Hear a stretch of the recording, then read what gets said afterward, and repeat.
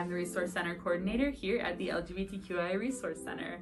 We're currently in my office. You can always come find me and chat with me if you need support with any resources um, or if you want any book recommendations. And so let's get into some of those.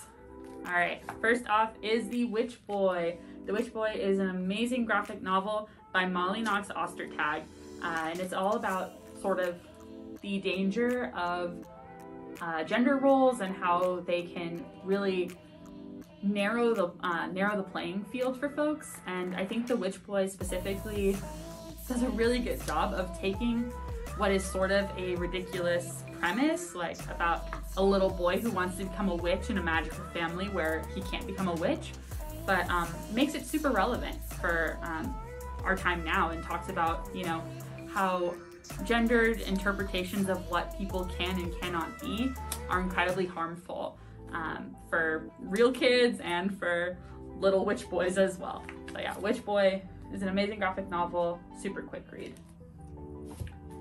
Up next, we have Picture Us in the Light. Picture Us in the Light is one of my favorite books I've read this year.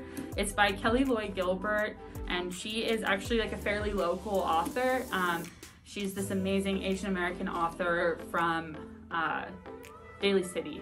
So uh, she does a really great job of writing about this story of this young first generation high school student who is this amazing artist and he's sort of navigating a lot of things, including his queerness.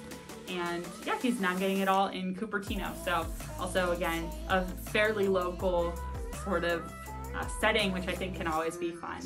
Um, this book was sold to me as a rom-com. Definitely not a rom-com, but it is an amazing, amazing story. And there is enough, you know, queer love in there and queer yearning that I think um, really makes it a super cool novel to pick up. Uh, very well paced, very well done.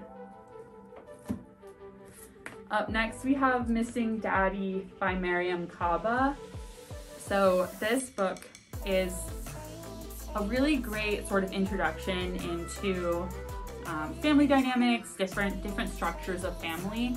Um, we have a lot of really great children's books actually highlighted in our uh, Resource Center's library.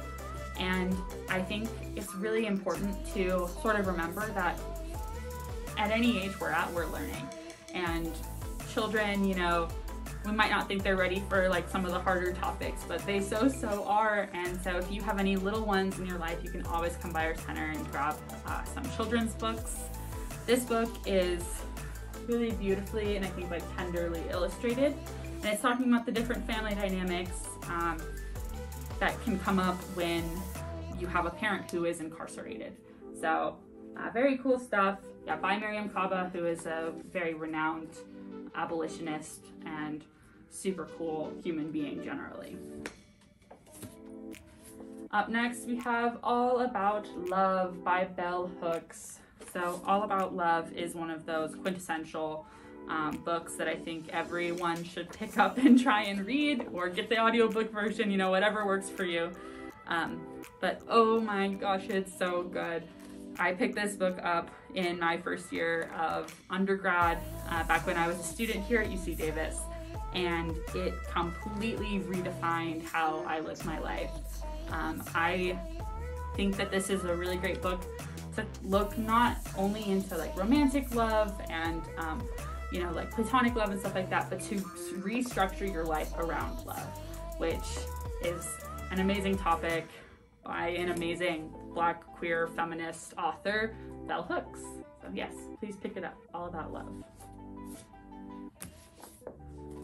Next, we have Laura Dean Keeps Breaking Up With Me, which is such a fun and poignant graphic novel by Mariko Tamaki, um, who is a Canadian um, author. She's Asian and she talks a lot, a lot about sort of queerness um, from the perspective of of like an outsider.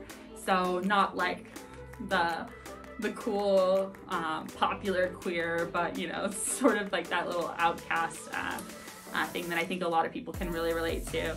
And this book is so good.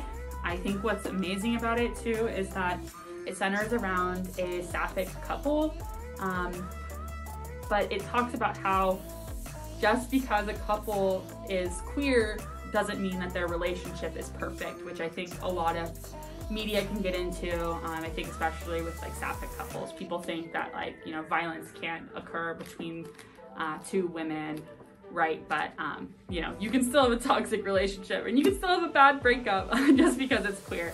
Uh, it's super cool.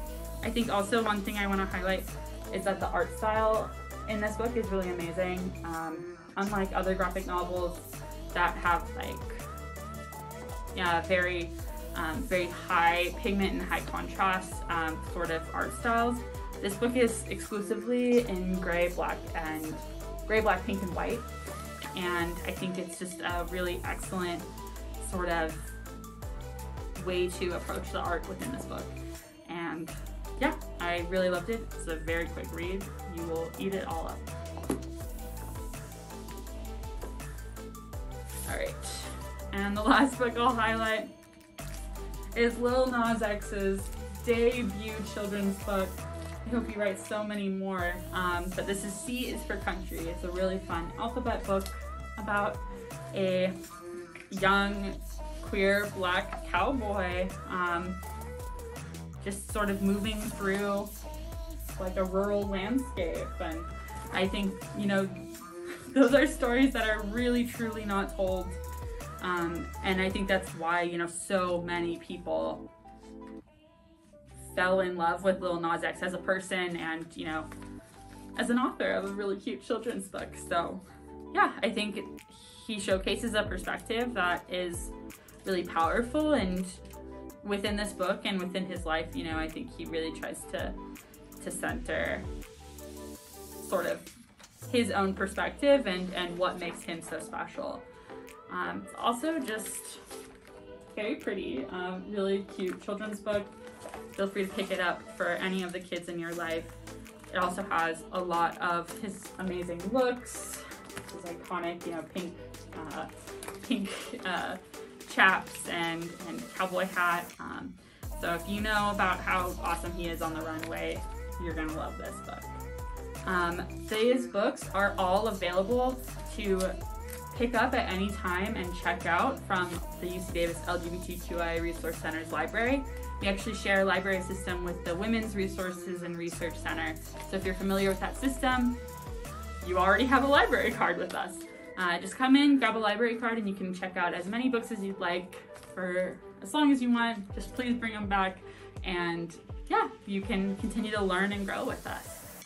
Um, our library space is also a really special space within our center because it's the Angelina Malfitano Memorial Library. Um, Angie was an amazing human being, student, activist who worked within our center and really tried to create um, safer spaces for folks to learn and grow. So we hope that you know our library that really memorializes her and her commitment to to bringing everyone with us in the struggle right towards liberation. So big shout out to Angie Malfitano, and we hope that you come by and learn with us. Thank you.